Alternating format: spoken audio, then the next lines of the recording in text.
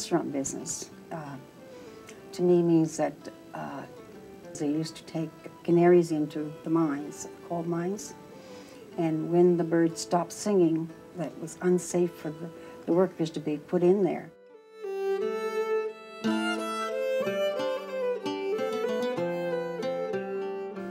For myself, I feel that uh, I spent 40 years working in the industry, and uh, now I'm coming out to die.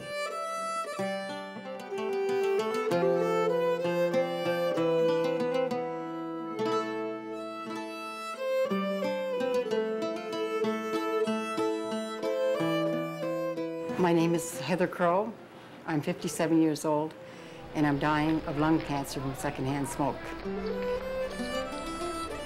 I found that the restaurant industry was a, a, good place for me to be because it was, the hours were available, and I, and I was a single parent, so I could put my family life together as well as my work schedule. In a very busy restaurant or, or uh, pub, and uh, the smoke in the, in the actual restaurant or, or bar was generally, the, the air was blue. That it's, it's a smoker's tumor was in my lung. I've never smoked a day in my life. I've been exposed for 40 years to secondhand smoke from the restaurant industry. That's a beat off the girls, right? That's right.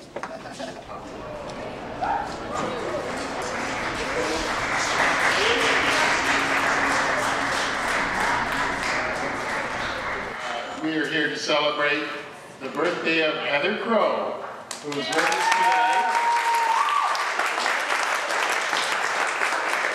And Heather's uh, 61 today, and we uh, think that's a great achievement.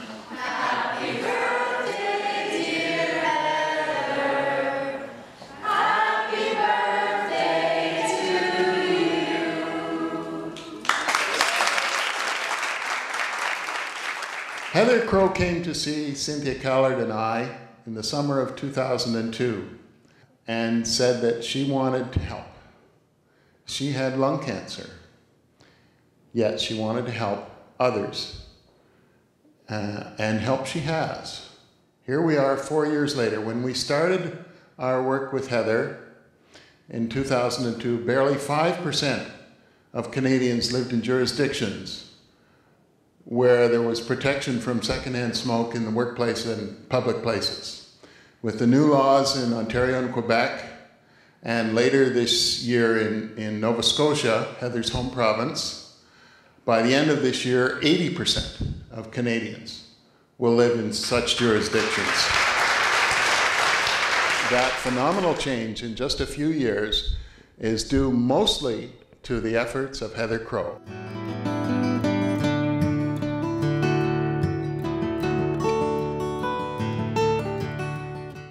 Halifax area was really dense, and uh, but we used to go play in the woods all the time and make forts and stuff like that. And uh, so that didn't scare us. It was not a part of our.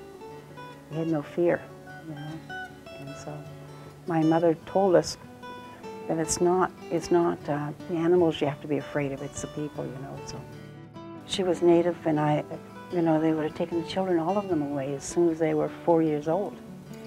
They had no rights to bring them up. And uh, they wanted to, uh, to eliminate uh, the culture totally. She married a white man, and by doing so, that gave us the protection.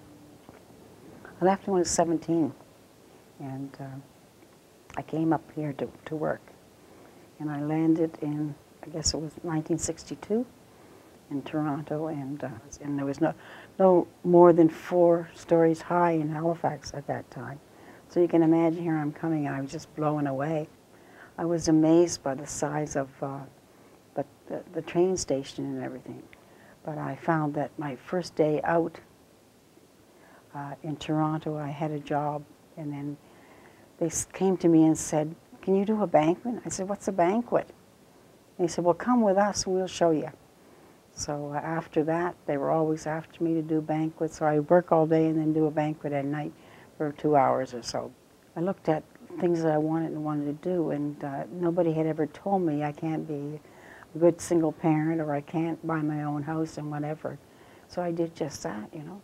Uh, if I didn't make twenty dollars that day, or if I only made twenty dollars, it was it was at least twenty dollars more than I had when I went to work that morning. So that's the way I looked at things, you know. I still had a chance to earn a decent living because all I had to do was try a little harder. It was like writing my own paycheck. And Mo was Mo gave me the tables to do that, and I, all I had to do was work them to my advantage, which was to take care of my customers. And you really look after your customers, and you think them as you know, it's an honor to serve them. In the summertime, we always have problems to find staff, lots of holidays, people they go away. And she came to me and she said to me, Mo, uh, I wonder how you're doing with the holidays. In my heart, I'm thinking, I hope to God she's not going to ask for some holidays now because I'm stuck, I'm short staffed. And I couldn't say no to her because she never really put me on a spot where she asked for something uh, if I'm stuck. So I said to her, Why, Heather? She said to me, Because uh, I just came back from the doctor and uh, he told me that I have cancer and I don't want to leave you stuck. Um, I couldn't believe my ears when she said that. She was worried about me, how I'll be stuck uh, with my staff. She was not so much concerned about her having the cancer. But that's how Heather is.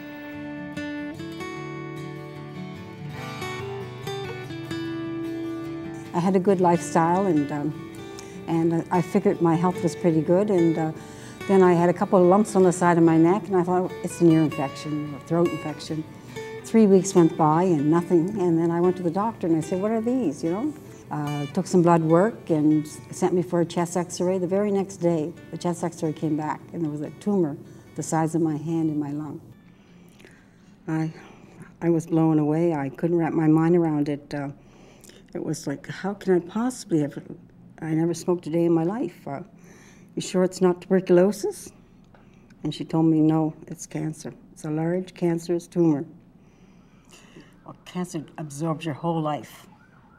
You live for the cancer on a day to day basis. Your appointments, your chemo, your pills, mountains of pills.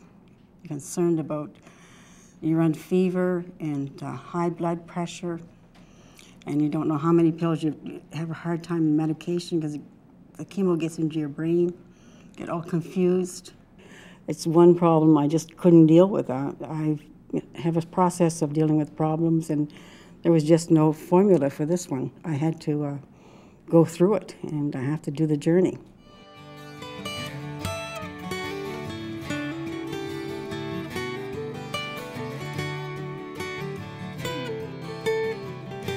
Remember listening, and she said that she wanted to become an advocate, she wanted to get involved. And I thought, hmm, this woman's about to start cancer therapy. Uh, I don't really know about this.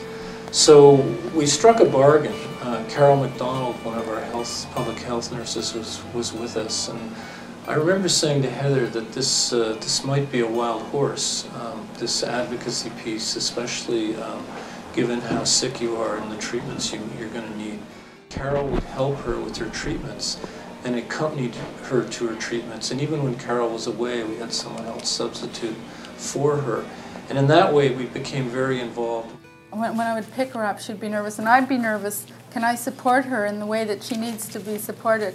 And of course, as you know, you don't just whip into a, um, an appointment and you're out in half an hour. It, normally, they take about three hours. Without exception, Heather and I would always end up laughing in the in the room, and when the doctor would come in, we'd be laughing because she she just took it in her stride. I got a phone call from a woman who said, um, "Is this Cynthia Callard?" And I said, "Yes." And she said, "I want to talk to you because I'm dying from secondhand smoke caused cancer, and I need you to help me file a workman's compensation claim." Came into my office and she asked that uh, she was applying to workers' compensation and she wanted letters signed um, She asked me if I would help her get letters signed by pretty much every politician, municipal, provincial, and federal within 100 miles. Her workers' compensation board claim, her successful claim, also made her a public persona instantly with national news coverage and established her credibility on this issue of secondhand smoke because she it allowed her to tell anyone, any politician, any journalist, that uh, there's no question that her lung cancer is caused by secondhand smoke. I was in the habit of uh, uh, having breakfast daily at the Newport. Uh, Heather was the uh, was the, the server there. One day, uh, she asked me how I was, and I said fine in typical fashion. And then I asked her how she was, and it seemed that the dam just kind of burst at that point. And she explained to me that uh, she just received the uh, test results uh, for herself and that she'd been diagnosed with, uh, with lung cancer. So I explained to her that we were in the process of developing a campaign on secondhand smoke. I've been a waitress for 40 years to earn a decent living for, for my daughter and myself. My doctor told me I had a smoker's tumor, and therefore uh, I'm dying. I never smoked a day in my life. And uh, it's been said that the stars aligned, and Heather was a star for us, and uh, the things have kept moving, and the provinces have come on board, and so forth. It's been incredible since 2002 to 2006 what Heather has probably been behind. Heather, by re- removed the barriers, and by removing the barriers, she changed the way we do our business. And that allowed the whole world to change because it really was Heather's story that united people in understanding that this was work that had to be done. And, and she has that ability to just find those very colorful, very simple images that really resonate with people. My retirement plans, um, I, after 40 years, most people are taking their retirement check and uh, downsizing in their homes and uh, planning a nice retirement. With me, after 40 years, I am um, I have to retire due to the fact that I have lung cancer from secondhand smoke, and I, I I'm planning my uh, funeral, and I'm, I'm downsizing into a urn. And I looked at the le- legislation, the protection for us, the worker, in the hotel restaurant industry. There's absolutely no provisions for us. We seem to be the invisible worker, or are we the disposable worker?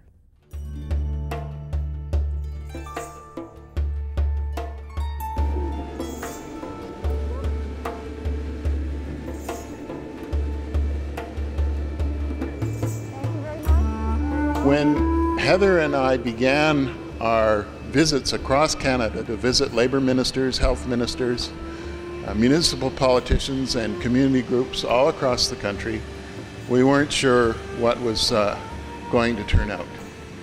But we knew one of our very early visits was going to be a major test. One of our very first visits was to uh, Iqaluit in Nunavut Territory.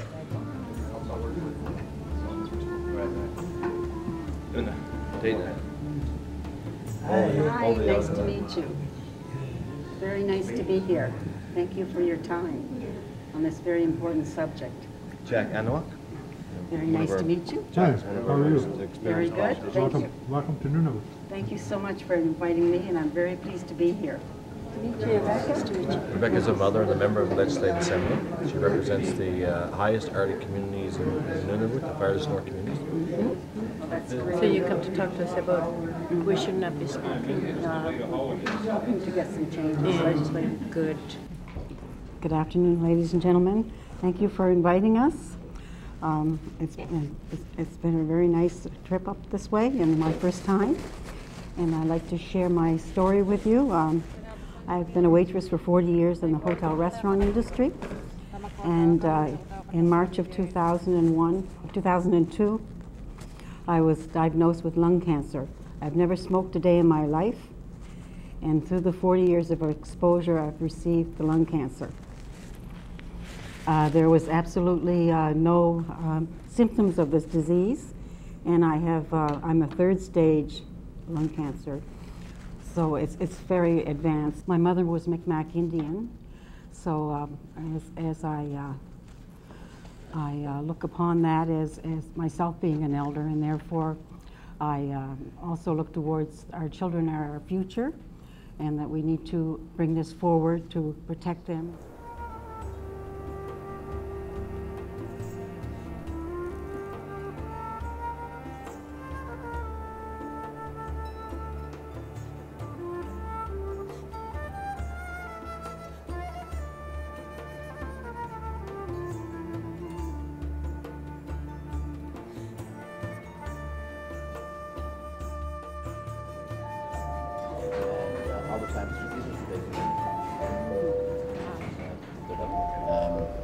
You guys aren't elders yet. Mm, I'm a Micmac, yes. Heather is. I have a white face but a red heart. Mona, nice to meet you. Thank you for coming. Thank you so much. And this young man? Robbie, nice to meet you, Robbie. Thank you for coming. Thanks for your time, eh? It's important to me. And make sure you guys don't uh, smoke, or at least if you do, to uh, have some information. Trying to quit. Yeah. We've got lots who are trying to quit. So, Yeah, yeah. that's good. That's a, that's a beginning.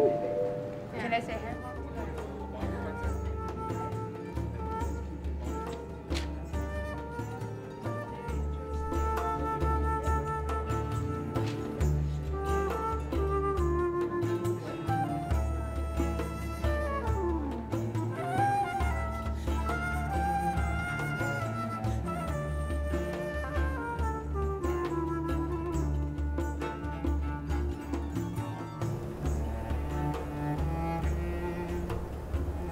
There was absolutely no, uh, when I got sick, there was absolutely no doubt that I would do this, that I had to make it public awareness, that I had to bring, be speaking to people that I worked with. Uh, people that I, I spoke to didn't know that uh, secondhand smoke kills, they weren't aware of it. So therefore, I had to get the message out across Canada and to get the politicians to change the labor laws and, and uh, to amend legislation. And this is why I'm out, trying to do the best. If I don't try, we'll never know. Okay, thank you. And the door's solid, you can hold, hold on to that. Mm-hmm. As a result of Heather's visit, the very first provincial or territorial jurisdictions to go smoke free in Canada were, in fact, Nunavut and the Northwest Territories.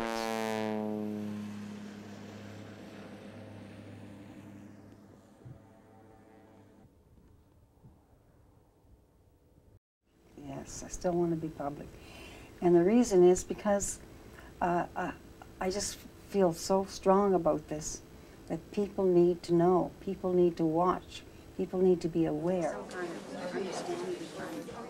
And it's not fair for the non-smoker who has to pick up all the slack. And the, the kids that we've seen at the schools, uh, you know, when Heather speaks, you can hear a pin drop.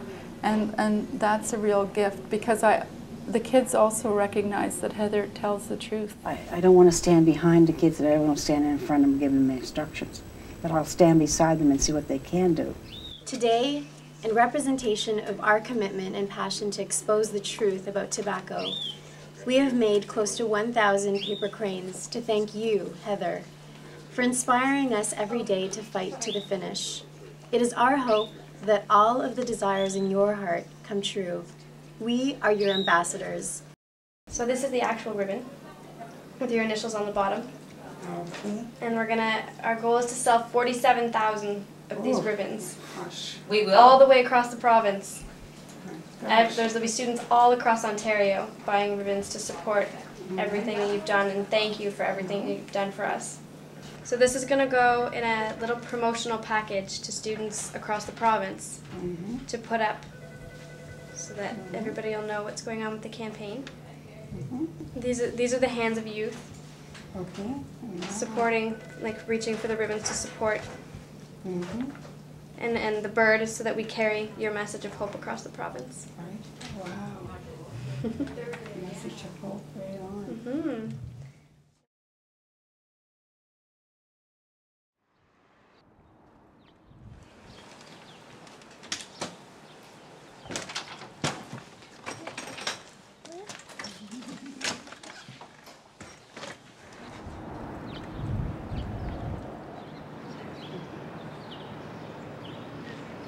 sure the message is because the, the message is valuable, but because she's also an outstanding person. And people don't feel threatened uh, by her, but they understand um, what she's talking about. But what's really remarkable is that Heather was better at this business. She was Mhm. better at advocacy, and she was better at public health than any of us.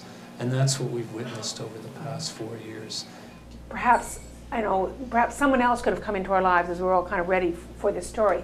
I don't think, I think the chance of someone else who would have been able to do it is, is is severely slim. I don't think there are many, there are, there are about a thousand people a year, I'm told, from the statistics, who suffer Heather's fate. I don't think there's one in a million people that are like Heather that would have been able to take that and do something with it. This has been a, a labor of love. Everybody was there as soon as I was wanting to do something, you know, to, uh, to make a difference. It's, it's still not over yet. And um, as they say, until a fat woman sings, but uh, I'm getting skinnier all the time. Thank God. Thank you for coming and uh, enjoy, and I hope uh, have a good time tonight.